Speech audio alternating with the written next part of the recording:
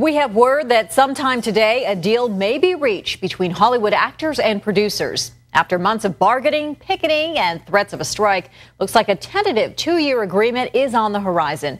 But as NBC4's Ted Chen, Ted Chen shows us, not everyone is pleased with what was left out of the new deal. The deal between actors and producers may be on the fast track to approval, but one group remains firmly against it the so called hardliners, who picketed the Screen Actors Guild headquarters as board members voted on the tentative agreement. We're trying to protect the members from the loss of residuals, which is more than half of our income and more than half of our pension and health contributions. It's what makes acting a profession if it's possible at all.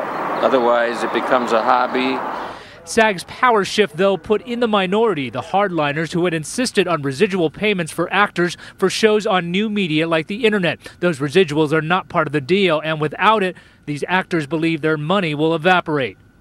All we have to sell as actors in this industry is our image and likeness. And the move over to, to the new media, they're going to be getting that for free, basically. Everybody wants to rush out to work again. Realize this when you go to work again, there's not going to be work.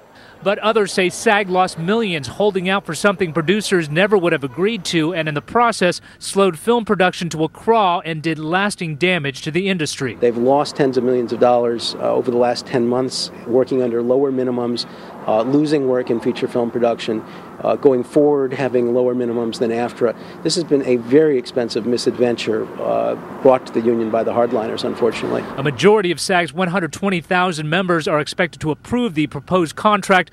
These actors, though, believe they can still convince them to change their minds. Ted Chen, Channel 4 News, Miracle Mile.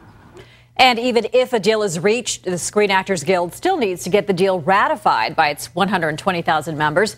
It's expected the deal will be approved by a majority of SAG voters, but not without a fight. Overtime